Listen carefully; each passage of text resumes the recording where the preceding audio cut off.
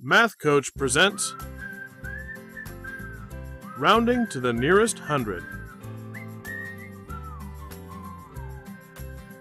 We use rounding when we want to estimate. Rounding gives us numbers that are easy to use, like 100, 200, 300, and so on. Rounding numbers help you solve everyday problems where you don't need an exact answer. That's called an estimate. Rounding might look hard, but hey, guess what? If you know how to put numbers in order and can skip count by hundreds, you can learn to round any number to the nearest hundred with ease. Here are some useful things to know. You can show any number on a number line. Numbers to the right have a greater value than numbers to the left.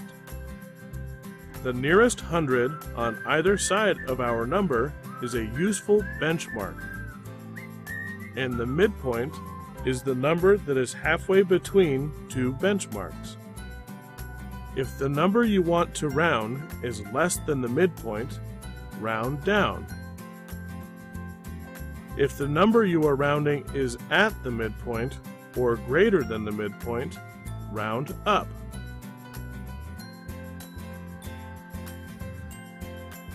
You can round any number to the nearest hundred in four easy steps. Let's see how.